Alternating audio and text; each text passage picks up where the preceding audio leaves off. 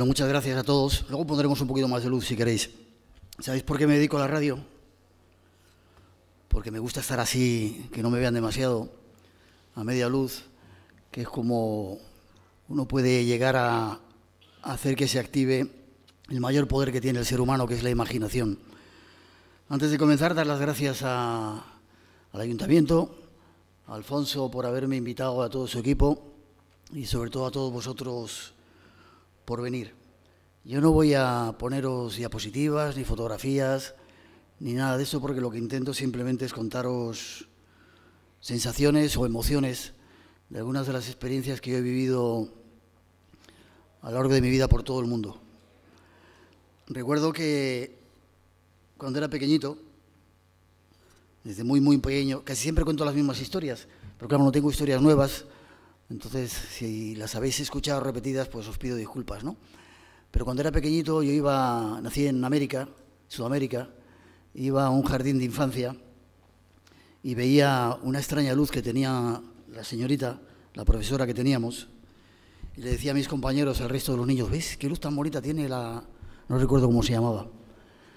Y todos los pequeñajos alucinaban porque me miraban de una manera extraña, ¿no? Cosa extraña también que ellos no la vieran. Aquello me creó algún que otro problema porque al parecer era yo el único que veía esa serie de luces, ¿no? Y durante un tiempo lo, negué. Me puse a estudiar psicología para tratar de entender qué era eso que me ocurría y luego algo que siempre quería hacer, comunicar a los demás las experiencias que vivía.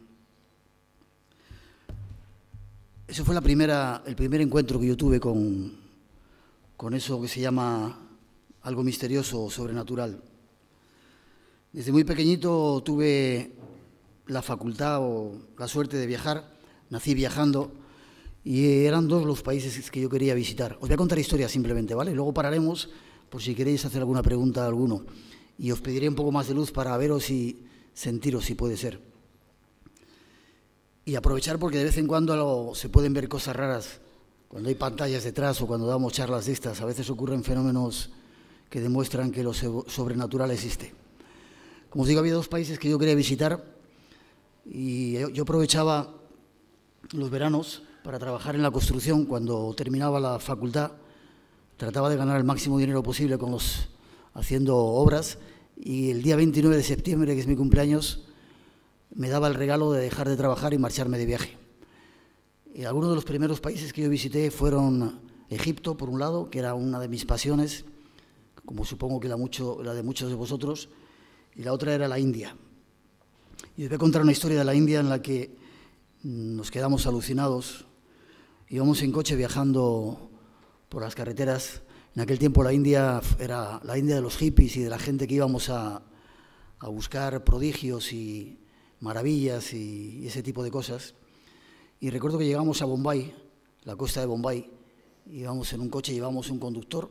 En la India se conduce al contrario que nosotros, el conductor eh, está a la derecha y no a la izquierda. Yo iba sentado en el asiento que aquí vamos normalmente los conductores a la izquierda, ¿no? Éramos cuatro personas las que estábamos en el, en el coche. ¿Podemos encender un poquito más la luz? Quiero ver las caras, si se puede. Íbamos, como digo, cuatro y el conductor, cinco personas en el coche. Yo iba fumando en aquel tiempo, fumaba, eh, y de repente se nos acerca, estábamos con las ventanas cerradas, estaba amaneciendo, estábamos viendo cómo salía el sol, precioso, y de repente llega un tipo de estos, un santón, toca la ventanilla del coche eh, a mi lado, y todos dijimos, joder, están aquí estos coñazos. Porque en ese, aquel tiempo, bueno, la India es bastante caótica, ¿no? Y cuando viene un extranjero se lanzan enseguida por él a pedirle cosas, etcétera, ¿no? Entonces, con un poco de, orgullo dijimos, a ver qué quiere este coñazo, ¿no? El tipo nos saludó juntando las manos, eh, vio que yo estaba fumando y me hizo señal de que cogiera el cigarro, la ceniza, y me la echara en, la mano. Yo le hice caso dije, a ver qué quiere. Hice lo que me, comentaba, sin hablarme, desde eh, la ventana del coche. De repente me hizo señas de que cerrara el puño y volvió a hacerme señas de que lo abriera, él desde fuera, yo le imité lo que me, estaba indicando y cuando abrí la mano, ¿sabéis lo que apareció en mi mano? Una flor amarilla, preciosa, como si la hubiera acabado de cortar. Nos quedamos todos alucinados, ¿no? Diciendo, ¿y esto? el, el santón aquel de repente nos saludó, dijo Namaste, tu alma y mi alma son una misma alma, sonrió, supongo que riéndose del espíritu de aquellos occidentales y se marchó, sin pedirnos nada, sin querer nada. Aquello a todos nosotros nos dejó alucinados.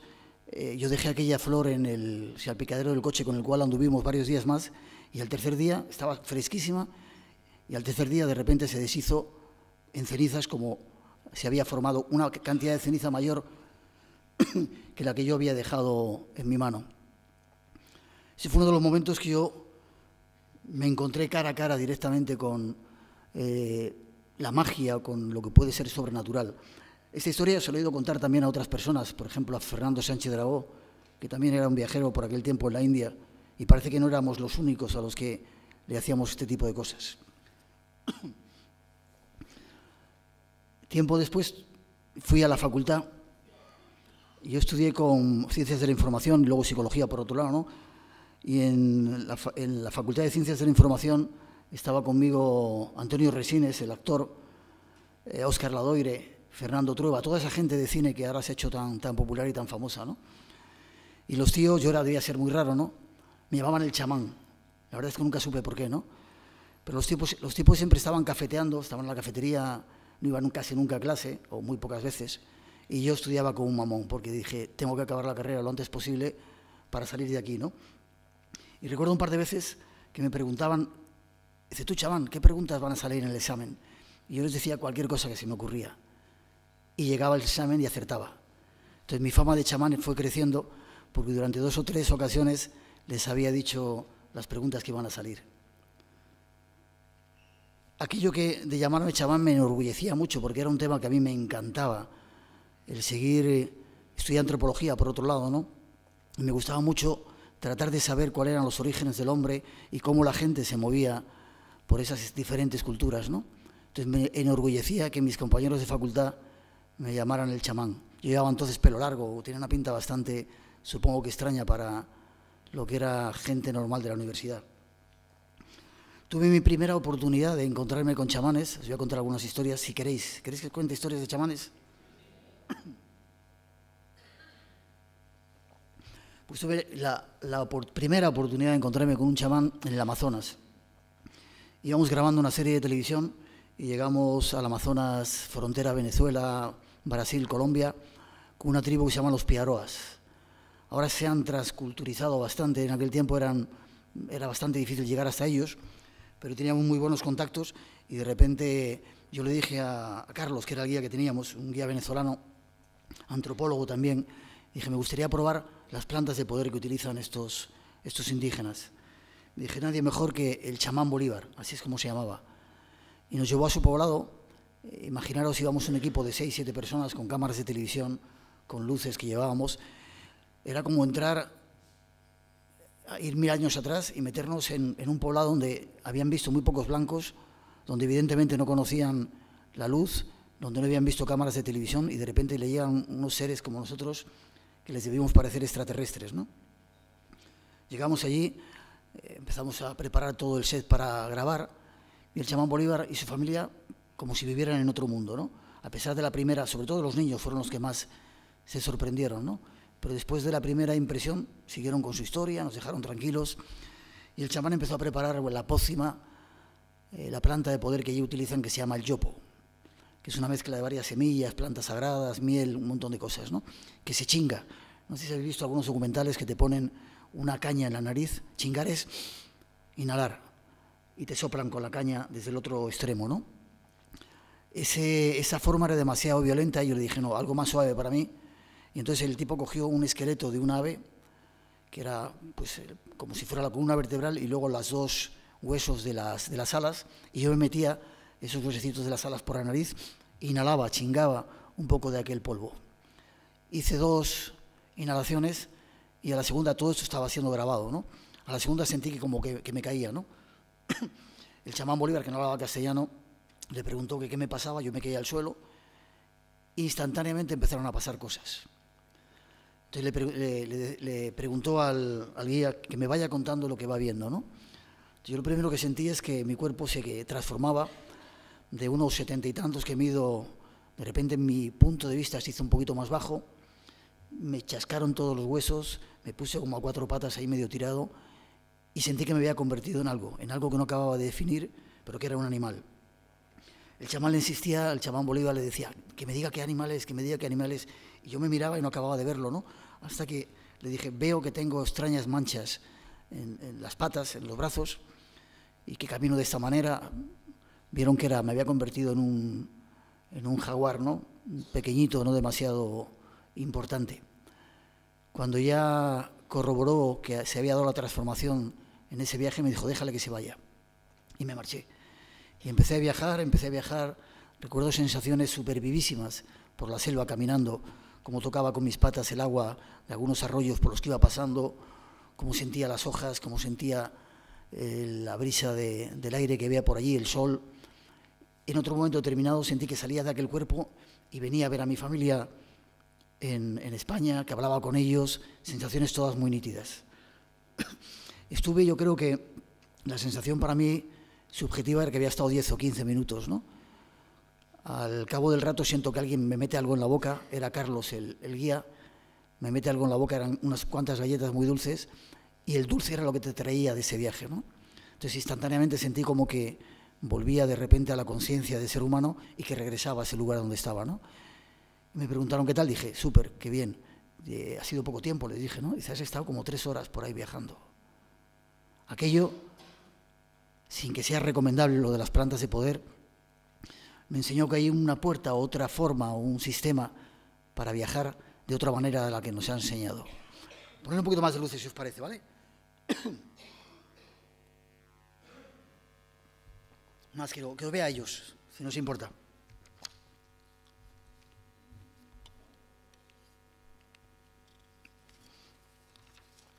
Tengo solamente una hora, ¿verdad?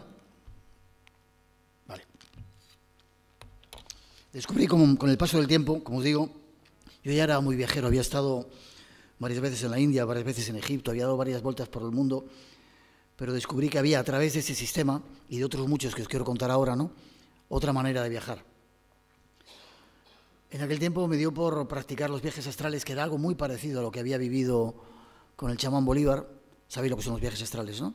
Relajación, de repente sientes que tu cuerpo se queda ahí como flotando, instantáneamente sales y en ese momento te entra el acongoje. La primera vez que yo hice un viaje astral de forma consciente, cuando sentí que mi cuerpo salía, o mi espíritu, mi esencia, mi conciencia salía de mi cuerpo, me quedé súper alucinado. Vi mi cuerpo abajo en la cama y dije, ¿qué es esto? Me estoy muriendo, ¿no? Instantáneamente regresé. Pero cuando me di cuenta que podía solventar ese asunto del miedo, que era la puerta un poco que te cierra la puerta hacia otros hacia otras dimensiones, lo empecé a controlar, a asimilar y de repente empecé a viajar. Las primeras veces que, viajé conscientemente tenía un amigo, un compañero de, de, facultad también y de clase, con el que eh, hablábamos de estos temas y hacíamos pruebas, y le dije, esta noche voy a ir a tu casa, esconde en el cajón de tu mesilla, que ya conocía dónde estaba, escribe una frase, y esta noche voy, y mañana cuando nos encontremos, te digo lo que has escrito como prueba de que eh, si soy capaz de llegar a tu casa, ¿no? Por la noche efectivamente hacíamos la experiencia, él la había escrito, llegaba, lo veía, y al día siguiente nos encontrábamos y le decía que compre pan, frases muy estúpidas me ponía, ¿no? O a ver si vamos juntos al cine, ¿no? Y el tipo me decía, ¿lo has visto? Y me enseñaba el papel, ¿no?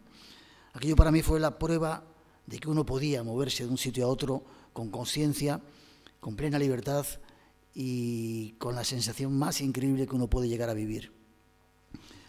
Es una sensación parecida, dicen, a la que se vive cuando uno llega el momento de la muerte, ¿no? que te liberas de un montón de cosas.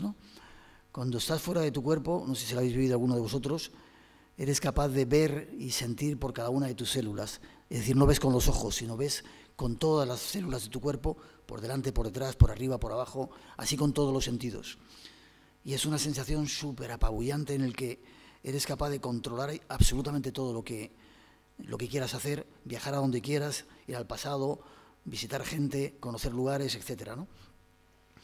Durante aquel tiempo yo pasaba, tiempo después, consulta de psicólogo sin cobrar nada, aprovechando esa pequeña capacidad que tenía de poder ver las luces de la gente y de repente me venía mucha gente a la consulta diciendo que tenía problemas, ¿no? Y yo dije, quiero llegar a conocer la clave de por qué la gente tiene tantos problemas. Yo en aquel tiempo era un tipo súper feliz, debía de vivir eh, en otra dimensión, volando, volando bajo, ni siquiera yo creo que tocaba la tierra. Creía que era un ser muy especial. La vida me demostró que no lo era después, afortunadamente. Pero quería conocer qué le pasaba al resto de los seres humanos. ¿no? Y de repente me planteé estar en mi habitación, en mi estudio, el tiempo que hiciera falta hasta que llegara la respuesta a lo que estaba buscando. No sé si os ha pasado una vez cuando tienes una pregunta, de repente casualmente abres un libro, escuchas un programa de radio, Espacio en Blanco o La Escóbulo de la Brújula, también está bien para que te den respuestas, o cualquiera que sea, ¿no? La Rosa de los Vientos, por ejemplo, y de repente aparentemente te dan la clave de lo que estás buscando, la respuesta, ¿no? Entonces yo me propuse estar el tiempo que hiciera falta en aquel estado sin salir de mi estudio, avisé a la familia que me dejaran tranquilo hasta que me llegara la respuesta, ¿no? Eh, como a las 3, 4 de la mañana me había metido en mi estudio a las 8, a las 9, no recuerdo, habían pasado bastantes horas, había terminado de meditar para estar tranquilo, pensaba estar sin dormir el tiempo que hiciera falta, y de repente del extremo de, una, de la habitación, una esquinita, empezó a salir una forma de humo. Y dije, me debió dejar algo encendido por ahí y se está quemando la habitación, ¿no? Y miré con más atención y el humo se hizo cada vez más denso y se creó una columna que iba desde el techo hasta el suelo. Aquella columna chisporroteó, como la película Star Trek, como si hubiera un tubo de luz de, desde donde podía venir otro ser de otra dirección, de otra dimensión, chisporroteó y apareció un tipo. Un tipo que se materializó delante de mí ante mi asombro, caminó varios metros, varios pasos hacia mí y, levantó la mano para tocarme. Yo le toqué y me quedé alucinado con la, la experiencia. ¿no? Era un tipo que iba vestido de blanco, una túnica blanca muy larga, llevaba el pelo blanco muy largo también, súper bonito, y me dijo, no sé si de qué manera, si hablando o, telepáticamente o cómo, si no te preocupes, Miguel, te voy a llevar a un sitio donde vas a encontrar la respuesta de lo que estás buscando. Me cogí de la mano y sentí cómo salíamos del cuerpo y aparecimos de repente en un lugar que he estado buscando durante montones de años después, ¿no? Era una especie de templo donde había un montón de gente como él caminando, gente vestida de blanco, y me llevó delante de un libro que era casi tan largo como esta mesa, un pelín más, más cortito y muy grande, ¿no? Me dijo, lee aquí, ahí está la clave de lo que estás buscando, me dijo. Y se marchó. Y yo empecé a leer, muy atento, al cabo del rato, no sé el tiempo que había pasado, tampoco sé en qué idioma estaba escrito aquello, volvió y me dijo, ¿lo has entendido? Le dije, sí. Entonces le dije en aquel momento, para mí es tan importante esta experiencia que he vivido aquí contigo, que necesito una prueba de que he estado en este lugar, ¿no? El tipo sonrió, hizo así con la mano, dio la vuelta y apareció un objeto que me entregó en mi mano, que yo recogí, le saludé, me marché y volví a mi casa. Había pasado también, yo pensaba que había pasado muy poco tiempo y habían pasado como dos horas. Si a las cuatro había empezado la experiencia o a las tres, estaba casi amaneciendo, ¿no? Súper contento, recordaba todo lo que había leído en el libro, guardé aquella prueba que tenía en la mesilla y me fui a dormir sin apuntar nada, y tan tranquilo y feliz de que había encontrado la respuesta a lo que buscaba. La mañana siguiente, cuando me desperté, me acordaba de todo, de que había estado en tal sitio, de esto, lo otro, pero no recordaba nada de lo que había leído en el libro, ni la palabra que me había dicho, que no se he contado. Me dice, recuerda esta palabra que es la clave de todo lo que has leído. Y estuve durante dos, tres años tratando de recordar aquello y no me salió. Así que lo dejé estar ahí abrimos un poquito más luces. Yo no sé si voy a estar mañana en la mesa redonda, con lo cual si queréis preguntar y me dais un poquito de tregua a la garganta, que la tengo un poco tocada, si os parece, si me permites, Alfonso. Porque así quiero ver también por dónde vais vosotros. ¿Estáis a gusto? Estáis muy calladitos, ¿no? ¿Preguntáis o sigo?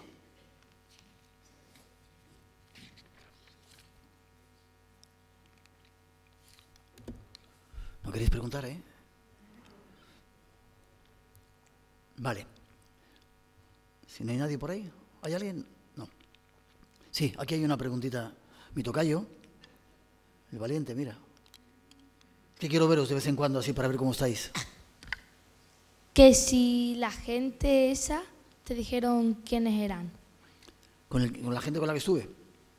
No, no me dijeron nada pero en muchas tradiciones hay seres que se aparecen como aparentemente de esa manera, ¿no? Vestidos así, como santones, como grandes almas evolucionadas, ¿no? Los hay en muchas, muchas tradiciones. Tampoco yo pregunté, no me interesaba saber quiénes eran, sino lo que me habían contado. ¿Y el objeto qué era? Espérate un poquito. Por ahí atrás quieren preguntar algo más. No era solo preguntar, que has comentado que, que has intentado encontrar de nuevo ese sitio. ¿Te refieres eh, eh, en el terrestre, o sea, en nuestro mundo, o en, o en otro mundo? De todas las maneras. He dado muchas vueltas por el mundo buscando templos, viendo cosas parecidas y he hecho unos cuantos viajes por ahí fuera. He perdido la capacidad de, la facilidad que tenía antes de salir astralmente, ¿no? A ver si podía llegar a ese sitio, ¿no? He encontrado ese tipo o alguien parecido en algunas otras experiencias, ¿no? Luego os contaré una, ¿no? De gente que estaba muy ligada a todo eso, ¿no? Pero nunca, yo nunca me he preguntado por la razón de las cosas. Las vivo, las siento, si me sirven me quedo con ellas. Y yo sé que esto, y encima ahora que se está grabando y que sale en todos los sitios y, y hay gente jorobada que de repente lo pone en internet y, y te ven en no sé dónde, dice, joder, qué zumbado está este tío, ¿no? Se ha debido tomar 15 raciones del yopo esa de la que habla para contar estas cosas, ¿no? Sin embargo, así ocurre, así me ha ocurrido, ¿no? Y así intento de alguna manera eh, comunicarlo, ¿no? Pero lo he buscado, aunque nunca me he preguntado, y tampoco me importa, ¿no? Me quedé con la experiencia, con, con la potencia que tenía aquello. Vaya, ¿os vais animando? Por ahí atrás. Pero luego me dejáis que tengo más cosas que contaros, ¿vale?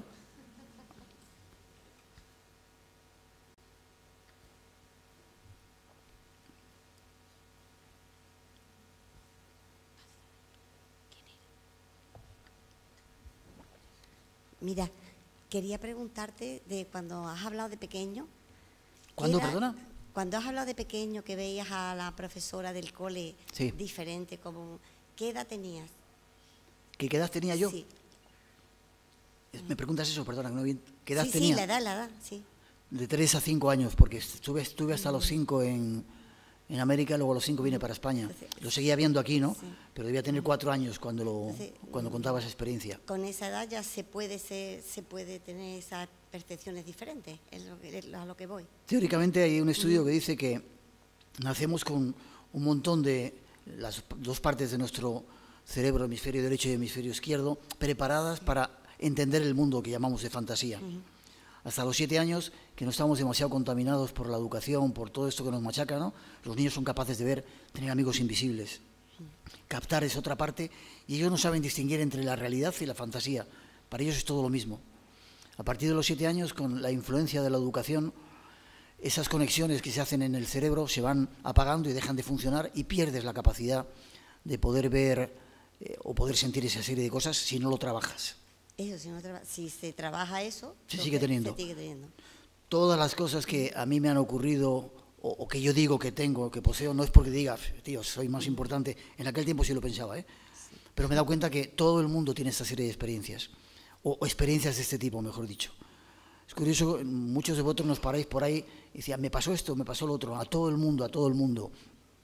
Incluso a la gente más escéptica le han pasado este tipo de- algún tipo de cosas de estas, que es un toquecito que le hace entrever que a lo mejor hay algo más, aunque hayamos cerrado la puerta a esa posibilidad. Luego lo veremos un poquito más claro, si te parece. Gracias. A ti. Eh, mm, perdone, yo, yo quería saber también, ¿qué, cuál, ¿cuál es la misión o el, o el trabajo de un chamán? ¿Qué, qué, qué, mm, mm, intención tiene la vida o qué...? Los chamanes eh, están en todas las culturas, ¿no? Es un término que viene de Siberia y que se ha extendido por todas las culturas. En algunos lugares, en vez de chamán, es hechicero, ¿no? Pero es el, el hombre espiritual, el que abre la puerta del mundo de los dioses o del mundo del más allá. Es un ser que es capaz de, sí, puede servir para curar, para comunicarse con el más allá, con los espíritus, es ese tipo de gente, el que abre la puerta de los otros mundos. En muchas etnias y en muchas tribus está también el jefe, pero normalmente suele haber un jefe de tribu y luego está el otro que es el jefe espiritual, el chamán, que es el que sirve para otro tipo de cosas. ¿Es usted un chamán? No, más quisiera. Más quisiera. Soy, Hola. Soy Miguel Blanco, por el momento. Poquita cosa, como habéis visto, ¿no? La gente cree que, hostia, qué tío tan grande, luego te ven y dice, joder, tan poquita cosa. Quieren preguntar por ahí. No. Aunque la fuerza no está en el tamaño, ¿eh? Sí. que a lo mejor lo has dicho pero no me he dado cuenta. Has dicho que te habían dicho que en el libro estaba la respuesta a tu pregunta, Sí. pero creo que no has dicho qué te preguntabas, creo. Me preguntaba que cuál era la- el origen de los problemas de la gente. ¿Por qué la gente sufría? La respuesta a lo mejor viene después. ¿Alguna cosa más que queréis preguntar? Ahí arriba, Grandullón. Bueno, Yo no contesto cuando me hablan de usted. No. Yo empecé a hacer eh, programas de radio cuando tenía 13 años. Yo tenía muy claro, muy claro, muy claro que quería comunicarme con la gente. ¿no? A pesar de lo tímido que soy, necesitaba o, o tenía la obligación o la vocación de comunicarme. Y entonces ya empecé a contar cosas. ¿no? Al principio me las inventaba. Me acuerdo cuando era niño, eh, cuando vine de América, me daba por escribir historias y reunía a los niños de mi, de mi calle y les contaba unas historias que te cagabas por las patas abajo. Y no puedo decir tacos que esto está grabado. Y los mamones querían más, ¿no? Entonces tenía que inventar más historias todavía, ¿no? Luego afortunadamente empezaron a pasarme historias. Y sentí la necesidad, yo no cuento experiencias de mi vida en, en la radio, no sé si lo habéis escuchado, salvo cuando algunos oyentes queréis que lo haga y Rosa me prepara, que la tenemos por ahí, a la gente del equipo, y me hace contarlas, ¿no? Pero normalmente yo no cuento estas historias. Espera un segundito. Respecto a esto, me he acordado de algo que quería eh, comenzar con ello, ¿no? Un día iba con Fernando Jiménez del Oso, que es Dios, sigue siendo Dios en estos temas, íbamos juntos a una conferencia a, creo que era Albacete o Ciudad Real, no sé dónde era, ¿no? Yo iba conduciendo y me decía, me miraba y me decía, Miguel, ¿tú crees que interesa a la gente las cosas que yo cuento? dije, tío, Fernando, se vuelven locos contigo, ¿no? De hecho, llegamos a Albacete y eh, era como si hubiera aparecido, yo que sé, Elvis Presley, ¿no? O lo que, el mayor ser, la gente se volvía loco con él, ¿no?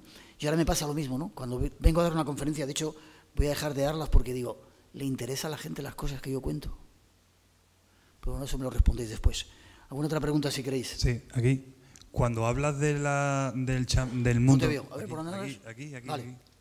Cuando hablas de, de los chamanes, me da la impresión que el- en la cultura que podemos llamar occidental no existe, se pueden equiparar, porque siempre hablas de, de, otra, de otro tipo de culturas, de civilizaciones, pero en el mundo occidental, ¿hay alguna equiparación de la figura del chamán en el mundo occidental? Quizá lo más cercano fuera al hechicero, Y- la hechicera, al mago. Sería el más cercano, quizá. y el por qué El la- curandero. el por qué en esta cultura occidental a la que mm, más o menos estamos todos, ¿por qué no hay esa figura del chamán?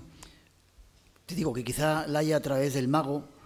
El hechicero sería un, un aspecto un poquito más negativo, ¿no? Sería el mago o el curandero. Esa persona que conoce secretos de la naturaleza, como conoce muchas veces el chamán, porque a veces es un. En, en- en Sud- Sudamérica, con las tribus, es un conocimiento que pasa de iniciado. de- alguien elige a una persona y le va enseñando cosas, plantas, etcétera, etcétera. Entonces aquí había, teníamos ese tipo de personas, ¿no? Personas que eran capaces de abrir a través también de plantas de poder, que las tenemos aquí. No hay nada nuevo en ninguna parte, ¿sabes? Todo es igual, quizá con diferentes nombres, ¿no? Y abrían ese otro mundo hacia contactos. Aquí se llamó con el diablo cuando tuvimos ese tiempo de brujas, ¿no? Hacia esos otros mundos que existen. ¿A qué hora tenemos que terminar? Que no sé, yo estoy aquí tan tranquilo. Alfonso, ¿a qué hora terminamos?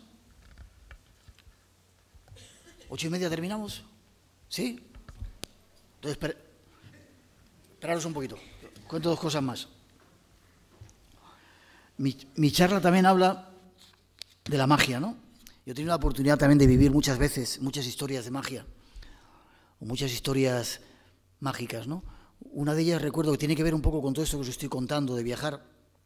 Yo estaba empeñado en pasar una noche en la Gran Pirámide, dentro de la Gran Pirámide. Era uno de los primeros viajes que hacía a Egipto. No tenía tantos amigos como tengo ahora, que es gente de mi familia, ¿no? Llevo como casi 60 viajes a Egipto y en aquel tiempo se podía conseguir pagando. Entonces me hice amigo de un inspector, le dije lo que quería hacer, le dije te doy no sé cuánto, me di una vuelta el día anterior como si estuviera rondando a una novia y al día siguiente me dijo vente a las cinco y media, hice intentamos hacerlo. A las cinco y media entré dentro de la, de la pirámide, a las cinco cierran eh, la meseta de Guisa me dijo, cuando llegues arriba hay que subir unas escaleras, no sé si habéis estado dentro de la Gran Pirámide, apagamos las luces y te quedas solo, y dice, ya, ya tú. ¿A y media terminamos? ¿Eh? Vale. Está bien, está bien. De repente llegué arriba, apagaron la luz y en aquel momento sentí un miedo terrorífico, ¿no? Porque no sé si había estado dentro. Siempre que entro dentro de la Gran Pirámide, digo, ¿y si esto se cayera?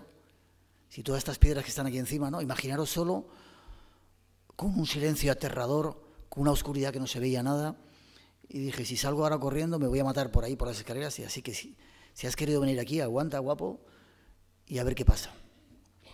Recuerdo que me metí dentro del sarcófago. Sabéis que hay un sarcófago allí que dicen que era el del faraón Keops. Me tumbé y de repente aquel sarcófago hizo como, como si fuera un traje de neopreno que se me ajustó al cuerpo y empezaron a pasar cosas. Lo primero que se siente, que lo vais a escuchar cuando se hablen del método ese patentado por Monroy, es un sonido especial.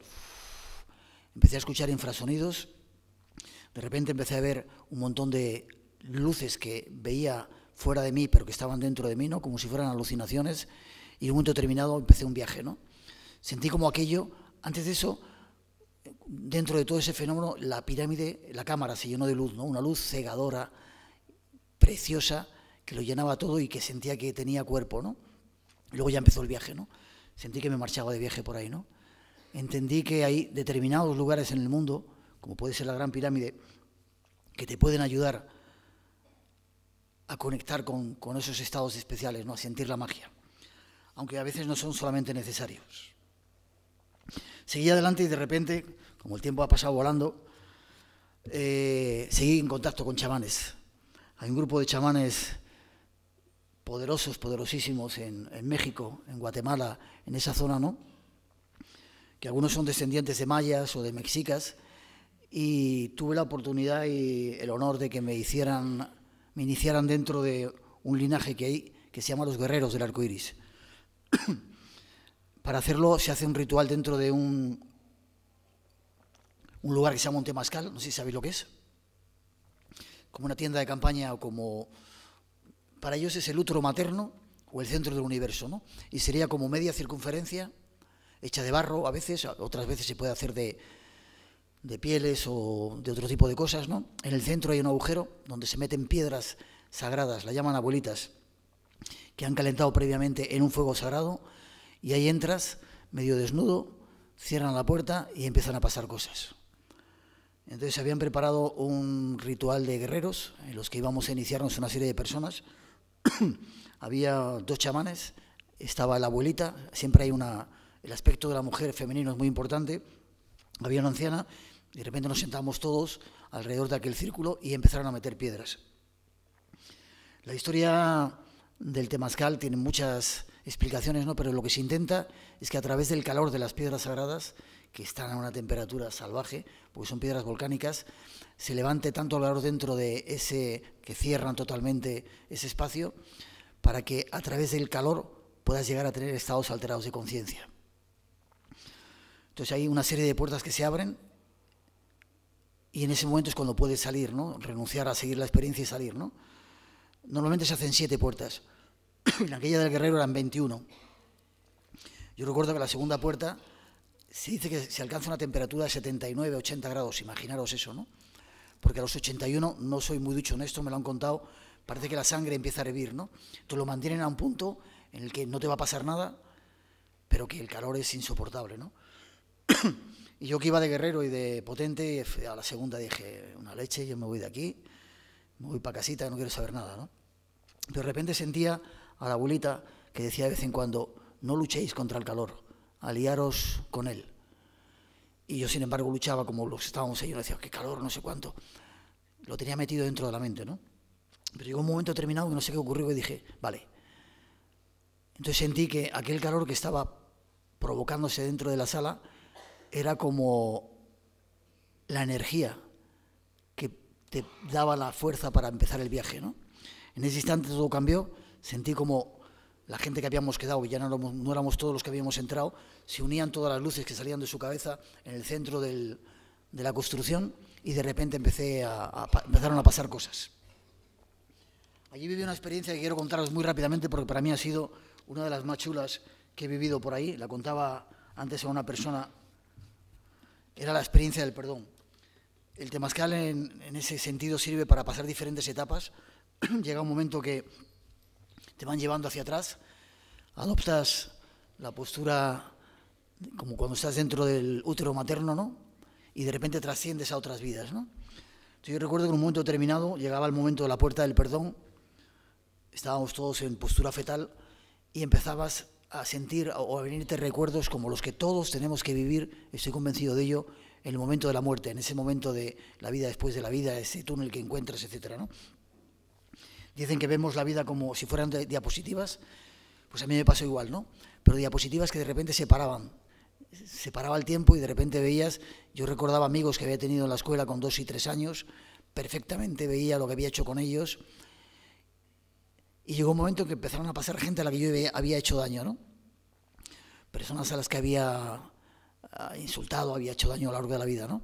Y yo era consciente de que había hecho daño, ¿no? Y de repente aparecía esa persona delante de mí flotando, yo lo veía, decía, fulanito, fulanita, perdóname, sé que hice mal, ¿no? Y seguía estando allí hasta que no era capaz de meterme dentro de lo que ella había sentido o él había sentido, no sé si entendéis esto, no se iba. Recuerdo un niño, por ejemplo, un niño hindú, que le faltaba un brazo. Entonces estaba en un hotel en la India y estaba en la puerta y de repente cuando salíamos los viajeros, decía, venme, yo te llevo, yo te llevo. Y yo pensaba que era alguien que eh, era una especie de comisionista, ¿no? que luego me iba a llevar a, alguien que tenía una bicicleta. En la India hay rixas, bicicletas que tienen un carrito atrás, ¿no?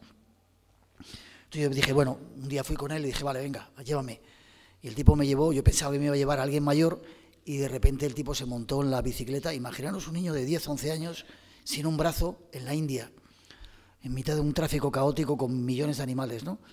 Entonces aquel niño, supongo que habría pensado que aquel día llevando al extranjero pues iba a ganar un montón de pasta, ¿no? Yo cuando le vi que se montaba en la bici le dije, tío, ¿estás loco? ¿cómo voy a ir contigo? Nos vamos a matar. Y me di la vuelta.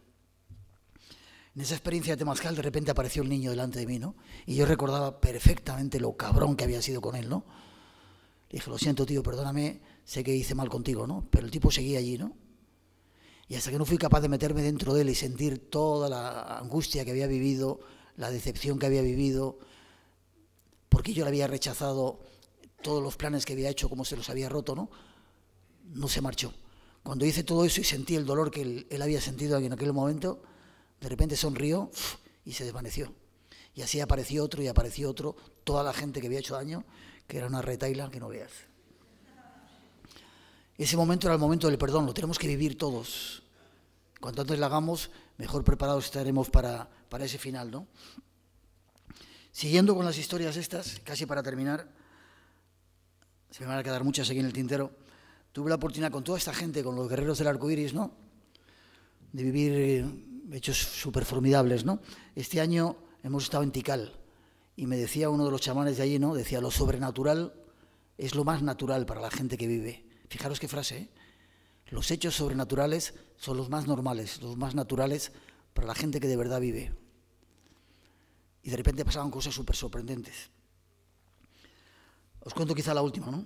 Yo quería en ese ritual que os he contado antes de Temazcal, de repente a la gente que nos iniciaba nos daban un espejo de obsidiana, que es una piedra, una piedra que llevas y que te sirve para protegerte. Había recorrido dos mil kilómetros con, con uno de los chamanes, un hermanito mío, Tosli, el conejo, que era el que se encargaba de dar esos esos espejos de obsidiana. ¿no? Veníamos de Ciudad de México, habíamos llegado a la Riviera Maya y le dije, Tosli, necesito un espejo de estos Dice, no tengo ninguno, me los he dejado en, el DF. Dice, pero no te preocupes, ya llegará. Nos despedimos de ellos, había gente conmigo que escuchó la conversación. Yo me fui a, primero a la playa y luego a uno, al hotel donde estábamos, un hotel súper lujoso, increíble. Había un compañero conmigo en la habitación, me estaba duchando y de repente miré cuando salí de la ducha las toallas. Había tres toallas puestas en filita, todas súper colocadas, ¿no? y en la del medio había un cordón. Y dije, joder, qué detalle tienen en este hotel. Los hoteles caros a veces pasa eso. Tienen unos detalles que no veas. Y dije, qué chulo, ¿no? Tiré del cordón y ¿sabéis lo que apareció? Sí, esto que llevo por aquí puesto. Esto, todavía me, me tiemblan las piernas, ¿no? Cuando lo vi, me caí al suelo, estaba conmigo otra persona, dice, ¿qué te pasa, Miguel? Dije, mira, él había escuchado que yo pedía aquello, ¿no? Nunca he entendido cómo aquello apareció allí.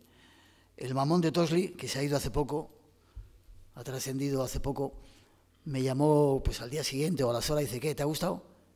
Y dije, qué cabrón eres. Nunca he entendido cómo eran capaces de hacer esas cosas.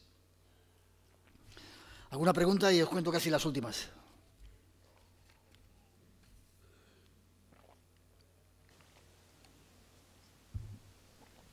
Pues no os dejo. Sigo. Miguel. Ah, vale. Disculpa. Espera, por ahí otra y... Vale. Eh, me gustaría que nos contara, creo que tuviste una experiencia eh, que viste muy de cerca al diablo, ¿no? Y no sé si es un poco traumático para ti o no, pero me gustaría que nos contara un poquito de eso. ¿Tenemos tiempo? Alfonso, no está por ahí. Eh, es una historia que ya estoy cansado de contar, pero bueno, lo cuento rápidamente. En Haití, en ese viaje que os contaba que hicimos por Sudamérica, ¿queréis que os la cuente? La del diablo. Me- Miguel, Sí, ¿me puede- aquí a tu izquierda. Aquí, aquí. sí. Eh, solo quería preguntarte antes de que le contestara a este señor. eh, cuando viste la nube esta de estas tres que hablaste con el señor de la túnica y tal, ¿habías tomado algo, una planta de poder? No, yo solamente he tomado una sola vez en mi vida, do- miento, dos plantas de poder. No he tomado nunca ninguna droga, Quiero decir, o fue en, nada.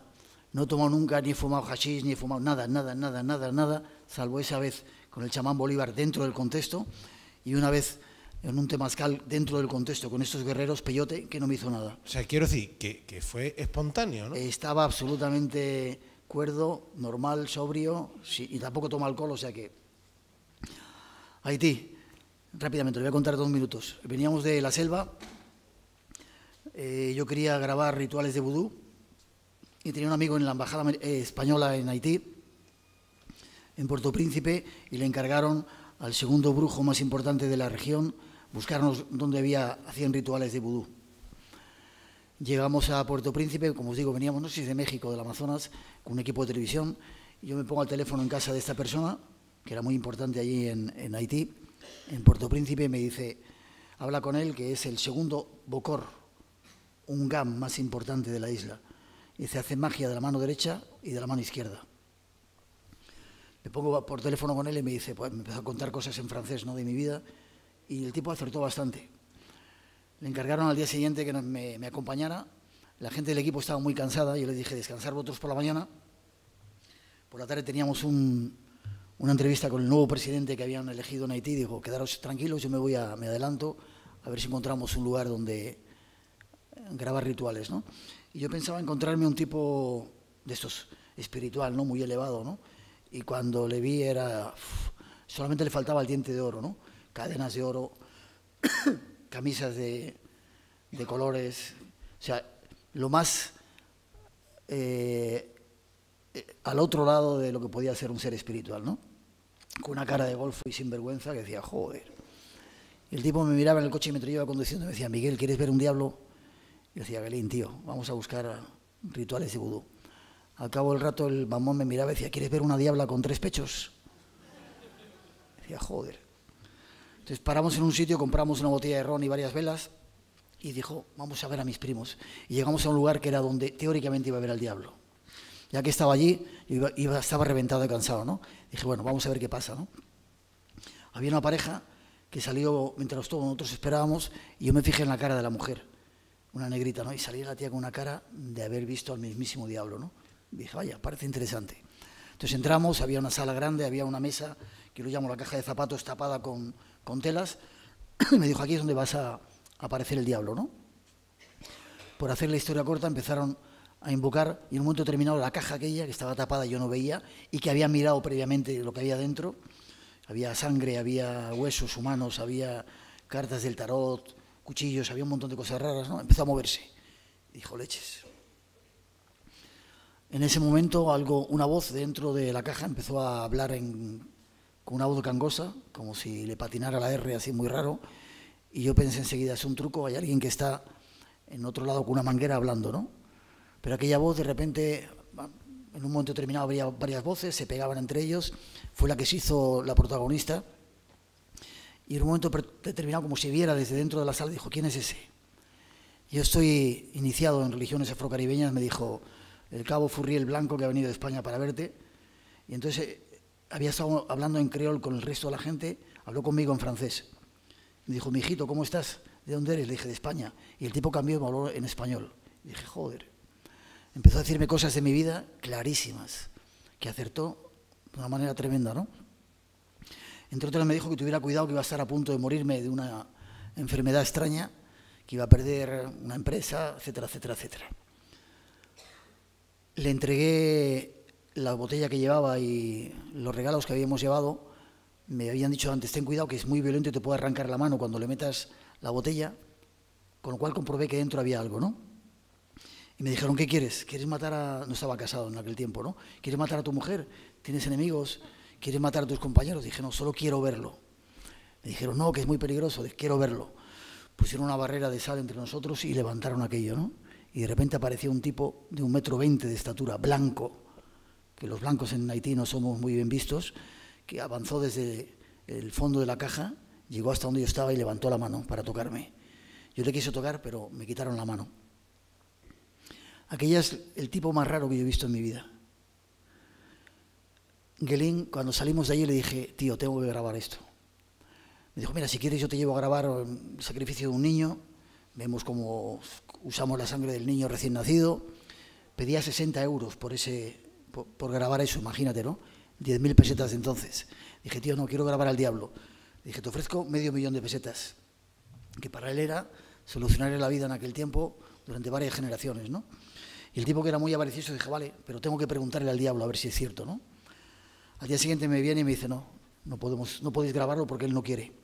Para mí esa es la prueba de que aquella historia es auténtica, junto con lo que me dijo, que se cumplió, curiosamente, seis años después, al sexto viaje que yo hacía a Haití, para tratar de saber qué era aquello, volví a España y me, me ocurrió todo lo que él me decía. Estuve a punto de morirme. Esa es la historia del diablo. Casi termino, ¿vale? Me gustaría que hicierais la magia tiene mucho que ver con la luz. Un pequeño experimento, ¿no?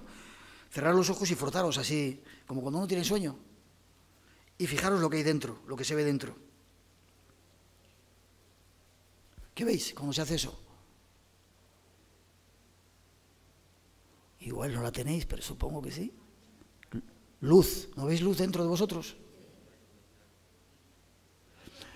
Luego al cabo del tiempo empiezan a salir otra serie de cosas, pero hay como un impacto de luz que hay ahí, ¿no? Todos tenemos esa luz dentro de nosotros, ¿no? Yo a veces me he preguntado que por qué a mí me ocurren toda esta serie de cosas, ¿no? Y creo que es porque estoy abierto a todo, porque no niego la posibilidad de otras realidades, porque creo que todo absolutamente es posible. A mí me decís que un burro vuela, digo, vale, me lo creo, luego tengo que verlo, y si tengo que contarlo a los demás, tengo que analizarlo y buscar pruebas para que eso ocurra, ¿no? pero me lo creo todo. Es decir, no cierro la puerta a ninguna posibilidad que, pueda existir.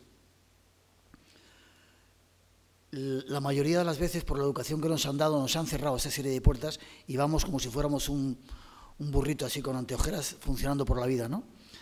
Yo os invitaría con estas charlas, el único motivo por el que yo vengo, aparte de por intentar ayudar a cuando son causas benéficas, ¿no? intentar dar, no sé si puedo, un por ejemplo, un consejo, ¿no? Buscar esa luz, ¿no? Todos estamos condenados a, sentirla o a vivirla, ¿no? Y hay dos claves para poder hacerlo, ¿no? Cuando uno anda por ahí perdido, ¿no? El mejor momento, supongo que os pasa, ¿no? Vais por una carretera y estáis perdidos, ¿qué hacéis? ¿Qué hay que hacer? Pararse y preguntar, ¿no? La mayoría de las veces seguimos corriendo sin, sin saber a dónde vamos, ahora vamos con el tontón ese estúpido que nos han metido, ¿no? y la mayoría de las veces nos perdemos, ¿no? Pero cuando uno está en su vida hay que pararse, ¿no? y hay una clave que he aprendido a lo largo de mucho tiempo, ¿no? Os cuento la última historia, la penúltima. Estaba en Tasquian, república en aquel tiempo yo creo que era de Mongolia Interior. Estoy hablando hace veintitantos años, ¿no? En aquel tiempo los viajeros teníamos lugares de referencia donde íbamos parando.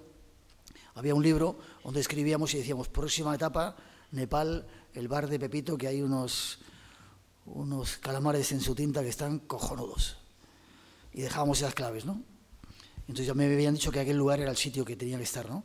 Y llego al bar, aquel restaurante, posada, era un sitio muy extraño, ¿no? Y os acordáis de la película La Guerra de las Galaxias, el bar ese que están tocando música, que hay tipos, era igual. Había kazajos que venían de las estepas rusas con una pinta, con machetes por todos los lados.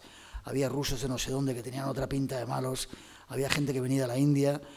Y estábamos los, los turistas, ¿no? Algunos hippies alemanes que venían con unos pelos, yo que venía hecho guarro, ahí se juntaba lo peor de cada casa, ¿no? y de repente escucho una conversación de unos tipos que hablaban del dueño del mundo o el señor de los anillos. Y hablaban de un sacerdote, un mago, una especie de, de Lama que había abandonado cuando Afganistán fue invadido por los soviéticos, no sé si os acordáis, por razones de petróleo, montones de cosas, ¿no? Este tipo salió con un millón de monjes, contaban, desde Afganistán y se fue a las montañas, frontera con India, eh, Nepal y, Tíbet, huyendo de toda aquella historia de los rusos, ¿no? Entonces contaban que aquel tipo tenía poderes extraños, etcétera, etcétera. Yo me quedé con la, con la historia y dije, bueno, no me creí nada, ¿no? Al año siguiente yo tenía una entrevista con el Dalai Lama. Había estado durante dos años tratando de tener una entrevista con él. De repente me la concede tal día en Katmandú, tal sitio, preséntate, ¿no? Yo salgo en un avión desde Benares a Katmandú y de repente el avión se retrasa tres horas. Y cuando llego a Nepal, el Dalai Lama cogía ese avión y se marchaba a otro sitio, ¿no? Con lo cual mi visita a Nepal no servía para nada, ¿no? Pero como no hay casualidades, apuntar que las casualidades es otra de las claves para encontrar el camino. Dije, bueno, me quise marchar lo antes posible de Nepal, busqué aviones que salieran para regresar a Europa, pero todos eran muy caros para mí. Y dije, bueno, me toca estar tres días aquí, ¿no? El segundo día de estar por allí, en Durban Square, iba caminando, había un día brumoso, brumoso, y estaba con una niña pequeña que me acompañaba, y de repente al fondo aparece un tipo, muy parecido al monje que había visto en esa otra experiencia, pero este no llevaba una túnica blanca. Empieza a caminar hacia mí, es una plaza muy grande, yo llevaba una cámara, un teleobjetivo, le apunté y empecé a hacer fotos. Vi que no, no lo rechazaba y le hice un montón de fotos, ¿no? Con lo cual tengo la prueba física de que ese tipo estaba, ¿no? Llegó hasta mí y empezó a contarme cosas, ¿no? Me dijo que era un monje, de esos que había oído el año anterior, que había dejado su familia, perdón, había dejado al grupo y había ido a Nepal a ver a su familia que hacía no sé cuántos años que no, no los veía, ¿no? Y me volvió a contar la misma historia que había contado o que había sentido en ese bareto de, de Tasquien. Dije, qué curioso. Estuvimos un montón de tiempo juntos, le llegué a tocar incluso, y en un momento determinado me dijo, antes de marcharse, dice, ¿quieres saber cuál es la clave de todo lo que hemos estado viviendo aquí? Y dije, claro. Me dijo, escucha el silencio. No sé si lo escucháis ahora. Esta vibración que suena. Escucha el silencio. En un momento determinado me se me cayó la funda de la cámara hacia atrás, me di la vuelta para cogerla el tipo estaba a un metro de mí, cuando me levanté, había desaparecido. Y la niña que estaba a mi lado me dice, anda, se ha ido. Nunca entenderé cómo aquel tipo desapareció delante de mis narices, pero tengo la prueba de que está, había estado allí conmigo. Escucha el silencio, es otra de las claves. Para terminar, me preguntaba al principio por qué, cuál era la clave de los problemas, etcétera, ¿no? Y me dieron, sobre todo, una palabra que despertaba en mí todo un proceso, ¿no? Años después de haber vivido aquella experiencia, de haberme encontrado con ese tipo vestido de blanco, ¿no? Fui a la isla de La Palma con un grupo de gente que queríamos vivir allí de forma diferente, ¿no? Y en un momento determinado yo dije una palabra y sentí como un trayazo en mi, en mi cabeza, ¿no? De hecho me, me caí al suelo, ¿no? La gente pensó que estaba débil porque llevábamos días sin comer, dije, tranquilos. Y apareció todo lo que había leído en el libro, ¿no? ¿Sabéis cuál era la palabra? Compartir. Mi vida llevamos 30 años haciendo radio, ¿no? Y muchos más haciendo cosas y hablando, ¿no? Está basada en eso, ¿no? El tipo este me dijo que teníamos que luchar por un tiempo en el que el tiempo social de compartir lo, lo llamaba él, ¿no? Compartir es aquello que todos tenemos y que nadie posee. En este momento estamos compartiendo el tiempo de estar aquí el aire que respiramos, algunas ideas. A través del programa hemos compartido ideas, sentimientos. No sé si entendéis. Lo que es de todos nadie puede poseer. Si yo os doy esto con el agua, os estoy dando agua. No estamos compartiendo el agua. Se comparte la lluvia, el mar. Es un concepto mucho más amplio, ¿no? Ahí os lo dejo por si, si os sirve de algo, ¿no? Y para terminar, y ahora ya me había animado, podíamos estar un montón de tiempo. Yo no he hecho nada. Dime, Que yo no he hecho nada. perdón. Que yo no he hecho nada. Si quieres me- tenemos que hacer un programa después. Ya va, va, va. Si quieres me bajo, ¿eh? Sí, venga, pregunta. Venga, lo último. Porque eres tú, ¿eh?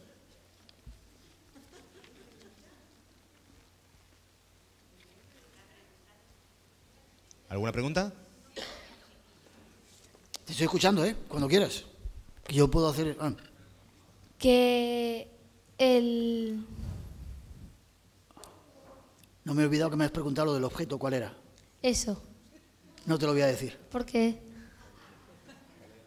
Fíjate que de vez en cuando todavía, cuando pienso que aquella historia tan lejana ha sido un sueño, voy a mirarle en el sitio donde está y ahí sigue estando. Es una especie de piedra. Vale. Si estas cosas que me han pasado a mí os pueden pasar a vosotros también. Algunas han sido muy duras, ojalá no os pasen las duras, sino las, las bonitas, ¿no? Como la última, está por ahí Jesús, cuando estuvimos en... ¿Y está Revenga por ahí? Hola. En uno de los últimos viajes que hicimos, eh, aventuras con Jesús y con Revenga y con toda esta panda de, de gente guapa, Vicente Casaña también, de repente entramos en la capilla de Sekhmet, en, en Egipto, ¿no? en un templo. Sekhmet es una diosa leona que cuando se enfada, se enfada la, la mamona, tiene cuerpo de mujer y cabeza de, león, y ha sido uno de los sitios donde llevando a Fernando Jiménez del Oso, que habría, fijaros si, si habría visto cosas Fernando, ¿no? Le metimos allí, entró dentro de, de la cámara y dijo, salió para atrás diciendo un montón de, de improperios, diciendo, ¿qué hay aquí dentro? Yo es un lugar al que voy muy a menudo a visitar cada vez que voy a Egipto, ¿no? Y es un sitio donde a veces las cámaras no funcionan y pasan cosas raras, ¿no? La última vez, de repente, yo hago, soy el guardián de la puerta allí, ¿no? Y llego a los colegas, les digo, aquí está tal, aquí está Petaj, que es su marido, y a la derecha está la diosa. Me quedo en la puerta, les dejo entrar, ¿no? Y van entrando uno a uno, ¿no? Entraron, no sé quién fue el primero, pero uno de ellos, el último que entró, eh, Vicente Casaña, ¿no? Astrólogo, no sé si lo conocéis, y el mamón estaba grabando, ¿no? Me dice, Miguel, Miguel, mira, mira, mira. Y en la pantalla del vídeo veíamos mogollón de luces, ¿no?